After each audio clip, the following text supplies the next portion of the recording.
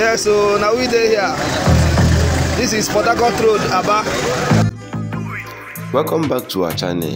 Please, if this is your first time of coming across our video anywhere on social media, please kindly subscribe or follow us. Okay, we are bringing you updates as it concerns Aba Port Road here in Abia State. Work is set to commence as Julius Berger commenced the inspection of the road today. And from so far, so good. You can see that Governor Alex Chioma Otti is here to work for Abians.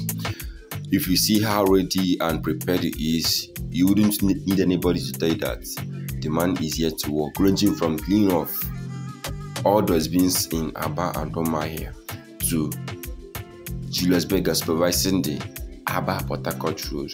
Okay, let me not keep you much here talking, talking, talking. Let me allow you to watch, the, watch the video as Julius Berger inspected the road today.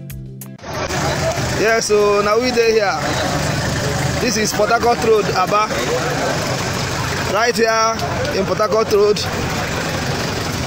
The, the commencement of the road project is about to take place. As you can see, these are Julius Berger's vehicle.